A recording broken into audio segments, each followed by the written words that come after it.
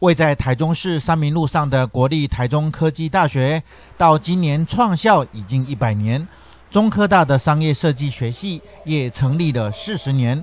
为了要展现师生们的创意能量，帮助毕业生取得就业优势，商业设计系二零一九年十二月十四号宣布设立青年创业基地，邀请许多事业有成的系友回娘家，分享成功的创业经验。中科大校长谢俊宏说。配合教育部推广创意、创新、创业的三创政策，中科大要成为学术单位的领头羊。讲了，我们商社系成立是六十七年成立，到现在刚好四十年。它是我们学校第一个开枝散叶的一个设计学院呢，设计系。那它的今天来四十年后来成立这样的一个创意基地，我想也符合台湾的高教的科技大学的需要。中科大商业设计系主任洪其生也说。设立青年创业基地，就是希望在教学当中能加入美学设计的优雅理念，跳脱传统学科教学，集合业界跟系友的力量，提供创业技术、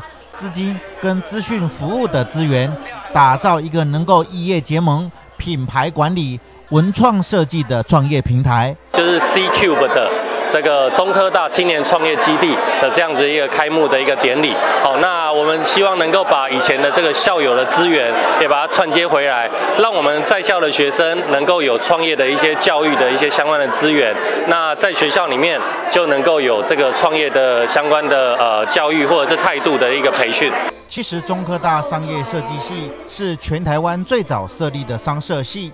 四十多年来，培育了国内外许多杰出的人才，在青创基地内就有很多优良设计产品的展示，也进驻了多组优秀的设计团队。系主任洪其生强调，未来还要提升商社系软硬体的教学设施，培养更多企业精英，推动台湾经济跟社会发展，再创中科大另一个百年的风华岁月。记者陈文旭、肖佑金台中报道。